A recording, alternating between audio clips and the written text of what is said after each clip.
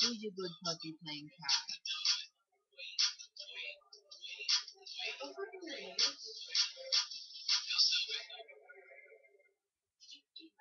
Oh, you just gotta kill.